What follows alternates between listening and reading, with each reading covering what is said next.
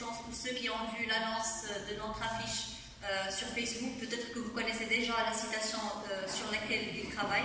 Sinon, vous avez à vaincre euh, sans, péril. péril. Les parents, ce sont des élèves qui sont assidus et travaillent. Voilà des parents parce qu'ils avaient appris avec élèves. Donc, avec sans péril, en triomphe, sans gloire. Voilà, c'est une citation que chacun va développer, exprimer son opinion, son propre opinion personnelle, comme il peut. Merci. C'est qu'en vain, sans gloire, sans vain, sans péril. Il en va de même de l'infortune. Elle choisit un dessin le plus rude antagoniste. Un grand exemple ne n'est que de la mauvaise fortune. Merci. Que de combats, que d'affrontements, que de difficultés, que de périls. Se battre pour une cause juste, c'est ce qui est important. Bien se battre, c'est ce qui est essentiel. Mais vaincre ou triompher, c'est ça la question. À vaincre sans péril, on triomphe sans gloire. Quoique la grande gloire est la quête de tout être humain, c'est les périls, les contraintes et les difficultés qui comptent vraiment. La gloire est de se relever à chaque chute qui nous met à terre et continuer tout droit vers un succès flatteur. On a tous des causes à défendre, des rêves à des choix à conquérir, des tâches à accomplir, des désirs à suffire sur le plan personnel, professionnel, familial ou à tout autre moment clé de de notre vie.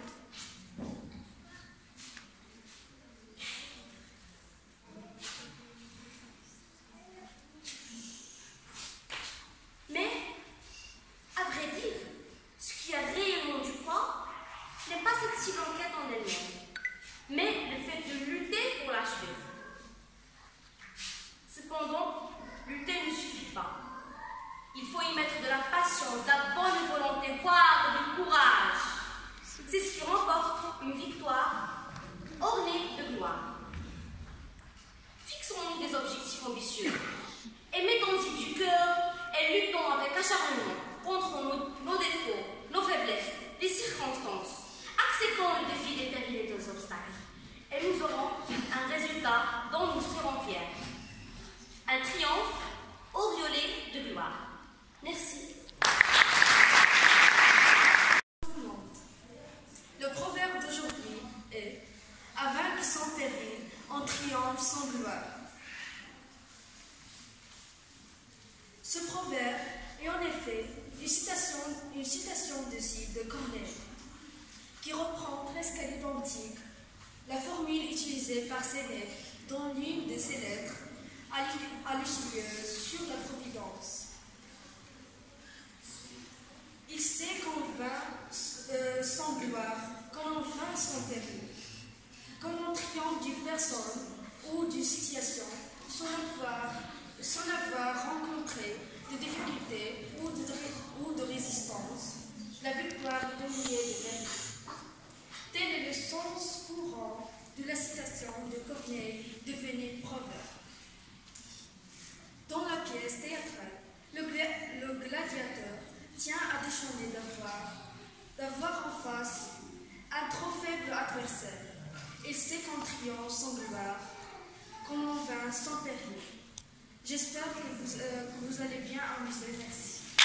On continue avec. Merci.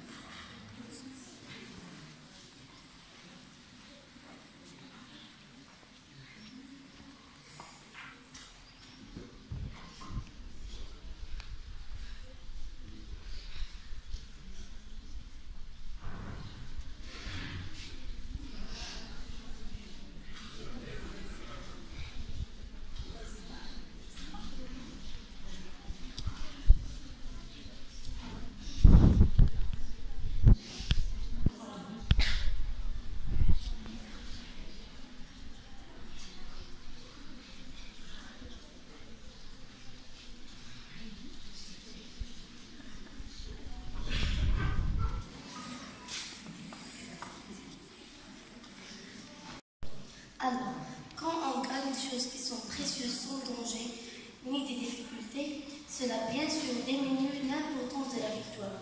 Et c'est sûr qu'on n'aura pas de gloire et qu'on s'en sentira plus sa valeur. Parce que quand on triomphe quelqu'un qui n'a pas rencontré des obstacles et des difficultés, euh, la victoire est éloignée de même. Par exemple, dans le domaine du sport, quand on a une grande équipe qui joue contre une petite équipe, son victoire n'aura pas une grande valeur comme si elle joue avec une équipe de même niveau est devant le domaine scolaire. Quand on a un élève qui a bien travaillé durant toute l'année pour avoir une bonne note, et un autre qui n'a rien fait que tricher et demander les réponses des autres. Alors, ce qui est bien travaillé, il va sentir à la valeur de la note qu'il a eue parce qu'il a fait des efforts pour y avoir. Par contre, l'autre élève, il, il, il, ne, il va pas sentir, il ne va pas sentira sa valeur et sa, et sa, et sa importance.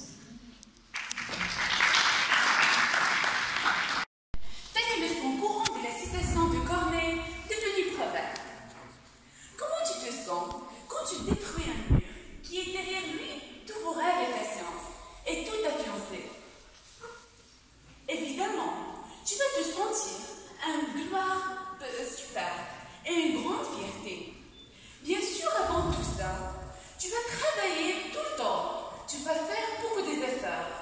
Tu vas utiliser plusieurs objets pour arriver. C'est ça le vrai, le vrai, le, vrai, le vrai triomphe.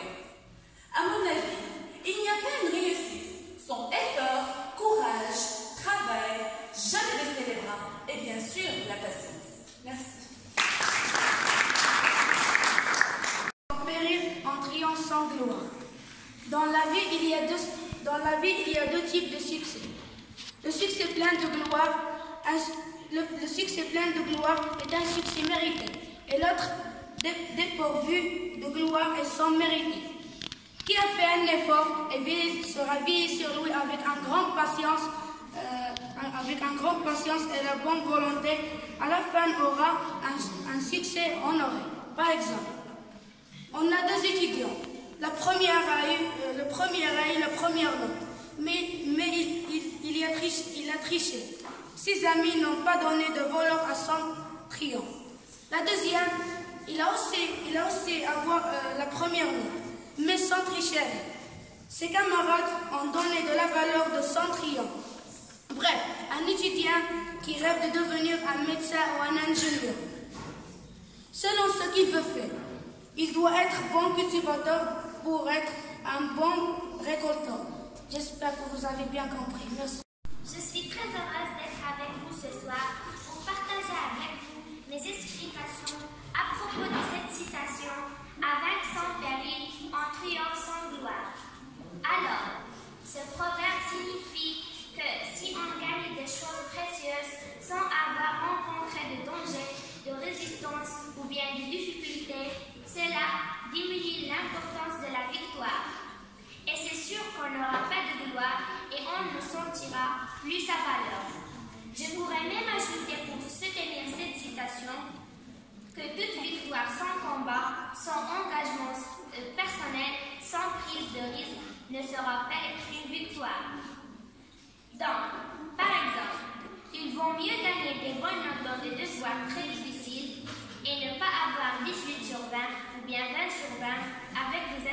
attention facile.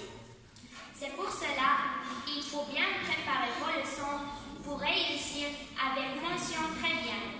Et enfin, merci de votre attention. Et de ses relations et ses liens intimes qu'on entretient élève-professeur. Euh, euh, était parmi les élèves qui n'avaient pas accepté le défi au début. Donc dès le début, il, il avait dit non, je ne pourrais pas, voilà, donc je relance. Et puis, euh, après, après s'être rentré euh, des, vacances, on avait commencé à parler, à discuter. Et puis, du coup, juste après ces discussions, juste après cette motivation qu'on faisait euh, continuellement en classe, je lui ai proposé le défi une deuxième fois, à condition que je vais la voir. Quand Aujourd'hui même Hier. Hier. Donc à condition de la voir euh, mercredi matin. Si je dis que je vois qu'elle est prête, elle va passer. Sinon, je suis désolée. Et voilà le résultat, il est devant vous. Le fait que leur texte soit plein d'imperfections, d'erreurs, qu'ils trébuchent sur les mots, sur la prononciation, ne m'importe réellement pas et j'espère que c'est de même pour vous.